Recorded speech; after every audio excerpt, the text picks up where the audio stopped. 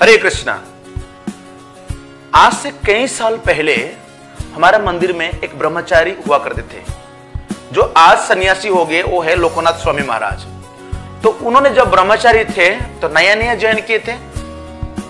तो उनको उस समय प्रेसिडेंट थे गिरिराज स्वामी, जो कि वो भी ब्रह्मचारी थे। तो गिरिराज स्वामी उनको मंदिर के सामने जब मिलते हैं और कहते हैं, लोकनाथ, आप यहाँ क्यों बैठे हो? प्रचार में नहीं गए? तो लोकनाथ स्वामी महाराज ने कहा, मैं तो नया हूँ और मुझे इतना कुछ आता नहीं और मैं कैसे प्रचार करूँ? ऐसी बात कई बार हम आंसर देते हैं। कई समय हमारा बार, हमारे पास कोई आते सीनियर, क्यों आप बैठे हो? क्यों प्रचार में नहीं गए? तो हम कहते हैं, हमारे पास टाइम नहीं है। हमारे पास ज्ञान नहीं है। हम नर्वस फील कर रहे हैं। अगर आप भी ऐसा नर्वस फील कर रहे हैं तो प्लीज़ बी विथ मी आज मैं इस वीडियो में आपको ये जो आपका जो नर्वसनेस है, इस नर्वसनेस से आप कैसे नो इंस्पायर हो जाएँगे और आप प्रचार करने जाएँगे, वो मैं आपको बताऊँगा। मैं हूँ सचिपुत्र गौरदास। अगर आप हमारे वीडियो को सब्सक्राइब नहीं करते, किए ये चैनल को तो प्लीज़ सब्सक्राइब दिस चैनल और press the bell icon so let's begin it तो कई बार हम लोग प्रचार के समय आता है तो हम बकरी बन जाते हैं। मेरे गुरु महाराज कहते हैं, stay, no, stay like a lamb inside the home stay like a lamb inside the home go out like a lion for preaching घर में तो बकरी या चूहा जैसे रहो और प्रचार करने के समय शेर बन जाओ. तो इसलिए मुझे भी कई बार नर्वस फील होता है।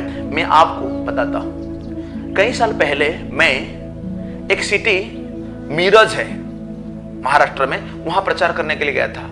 वहाँ 50 परसेंट से ज़्यादा मुस्लिम्स है और हिंदू भी है पॉपुलेशन मैंने चार घंटा वहाँ पर बुक्स बांटा।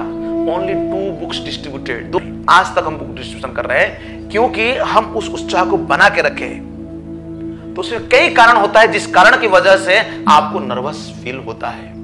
पहले कारण तो होता है, आप सोचते हैं कि मैं तो नया हूँ I don't know the philosophy मुझे कोई ज्ञान नहीं है, और मैं कैसे कोई क्वेश्चन पूछ लेगा तो मैं उसके आंसर कैसे दू, और मैं कैसे प्रचार करूँ?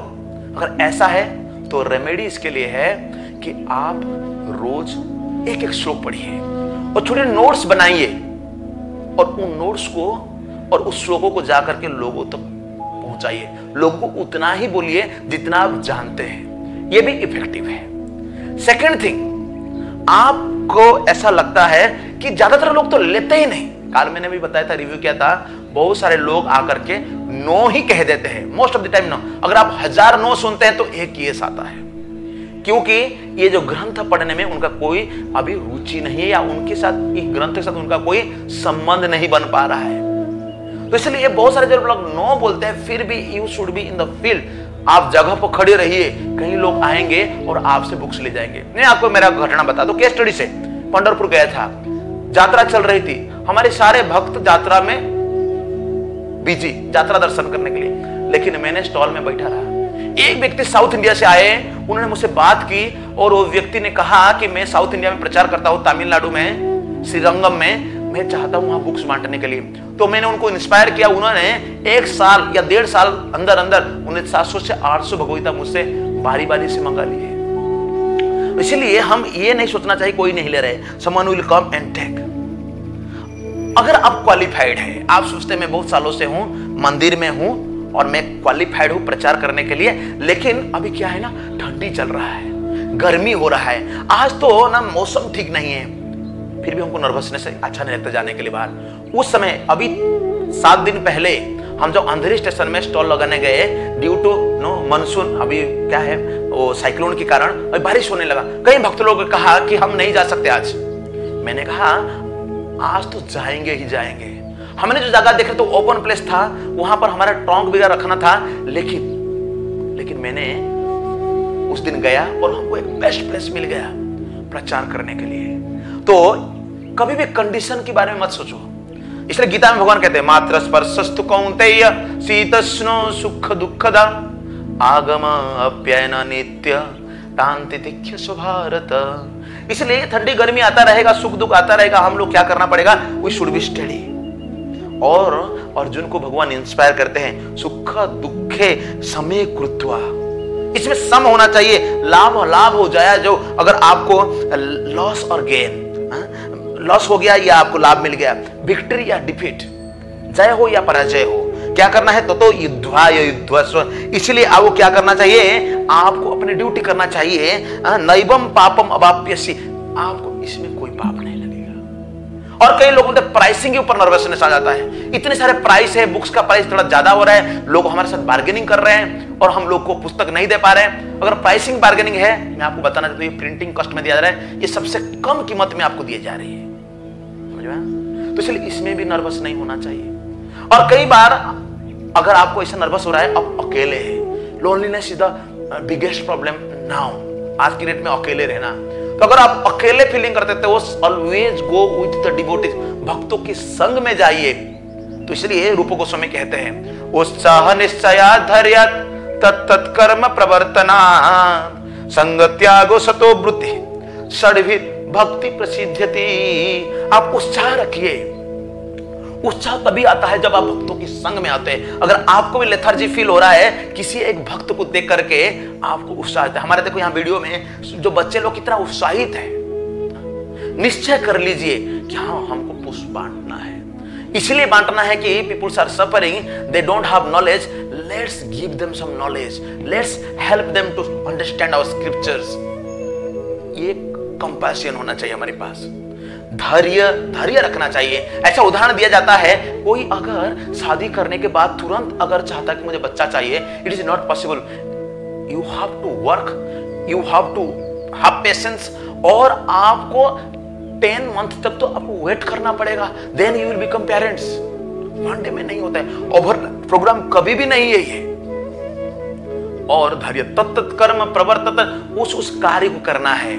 बुक डिस्ट्रीब्यूशन के लिए सबसे जो अहम बात है you have to read the books you have to make the notes you have to have this association devotees जो बुक डिस्ट्रीब्यूशन करते हैं।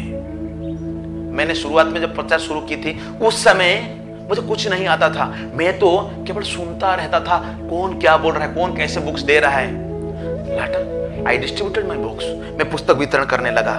और इसीलिए हम कुछ रेमेडी आपको सुझाव दे रहा हूँ कि हर रोज बुक्स पढ़िए makes notes and go to tell और just repeat the words of acharya हमारी आचार्यों ने जो दिया है हमको, उसको आप रिपीट कर दीजिए। आप ये मत सोचिए कि मैं कुछ नया मैन्युफैक्चर करूँगा, नया कुछ फिलोसफी बताऊँगा। नॉट नेसेसरी और उसके बाद आपको क्या करना है? बताया जस्ट लाइक ए पोस्टमैन अगर आपको कुछ भी पता नहीं पोस्टमैन बन जाइए। पोस्टमैन को कोई वास्ता नहीं उस लेटर में। लेकिन वो पोस्टमैन क्या करता है? हर घर में जाता है और उस चिट्ठी को पहुँचा दे, लेटर को पहुँचा देता है। सिंपल फिलोसफी बोलिए तो आपका नर्वसनेस चला जाएगा। तो इसीलिए हमें जो ये एनकरेजमेंट मिलता है, ये गीता जयंती की महीना है, इस महीना में आप सभी जहाँ पर भी हो, स्थानीय स्थित श्रुतिगतो तनुबान मनो भी, किसी भी परिस्थिति में हो, किसी भी अवस्था में हो तो आपको क्या करना है? गो टू द प्लेस अगर आप बॉम्बे में रहते हैं, हमारा अंधेरी में बुक स्टॉल लगी हुई है टेम्पुल में भी लगी हुई है, हमारा नीचे फ़ोन नंबर दिया जाएगा, आप कांटेक्ट कर लीजिए। काल भक्त आए, उन्होंने हमारे से एक भगवदगीता लेके गई है। तो हम लोगों को क्या करना चाहिए? कि आ करके बुक डिस्ट्रीब्यूशन से पार्टिसिपेट करना है। केवल पार्टिसिपेट कर लीजिए, कुछ दिनों में आपका लैंग्वेज बदल जाएगा, आपका वे ऑफ़ टॉक बदल जाएगा, आपका वे ऑफ़ डीलिंग्स बदल जाएगा, आपका नर्वसनेस और नर्वसनेस बदल जाएगा।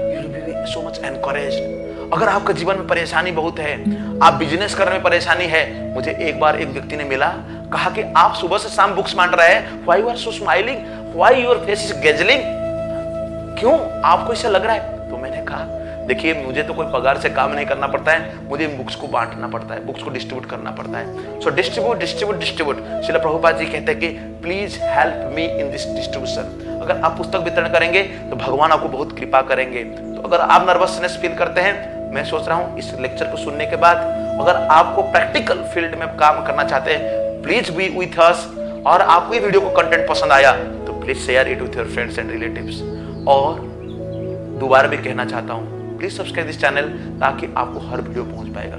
थैंक यू वेरी मच जगदुरशील प्रभुपाद की जय। निताय गौर प्रेमानंदे, हरि हरि बोल।